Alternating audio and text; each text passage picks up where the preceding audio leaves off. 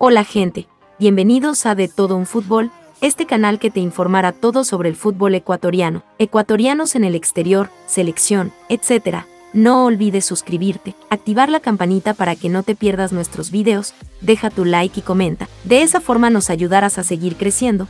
Cuento con tu apoyo, sin más empecemos. La broma pesada entre Piero Incapié, Moisés Caicedo y Bayrón Castillo a Gonzalo Plata. El día de ayer sucedió algo interesante, puesto que figuras de la selección ecuatoriana de fútbol como Piero Incapié titular absoluto en la saga central, Moisés Caicedo titular absoluto y un hombre de confianza de Gustavo Alfaro, y Byron Castillo titular absoluto por la banda derecha, hicieron un directo en Instagram, conversando y pasándola bien, con muchos chistes, bromas, anécdotas, etc.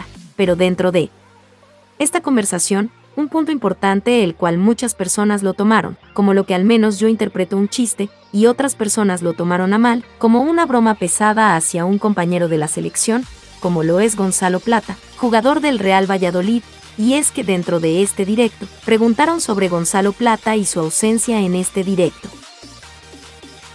A lo cual Moisés Caicedo respondió de la siguiente manera.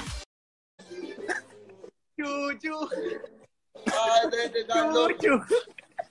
Hoy, ¿cómo, ¿cómo así no está Gonzalo? Molestaban. Mételo a Gonzalo, ¿dónde estará? Gonzalo, Gonzalo está ocupado ahorita. Está Está ocupado. cocinando también, está cocinando. No, salió a comer, salió a comer, está ocupado ahorita. Me dijo que está ocupado.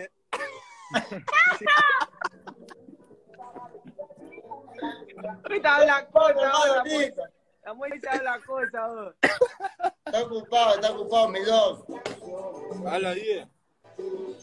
Una respuesta que hace referencia al accidente que tuvo Gonzalo Plata en España, donde accidentó su vehículo. Es por eso mismo que la frase carros chocones, para algunos es muy exagerada, fuera de contexto y de lugar. De todas formas creo que esto se quedará ahí. No creo que Gonzalo Plata se moleste por este chiste realizado por Moisés Caicedo, como vuelvo y repito, fue en un ambiente cómico, fue en un ambiente de amistad, en un ambiente de colegas.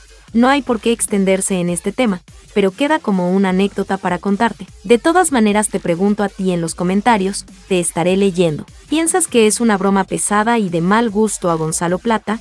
¿O simplemente quieren un chiste? Gracias por todo. El apoyo que está teniendo el canal.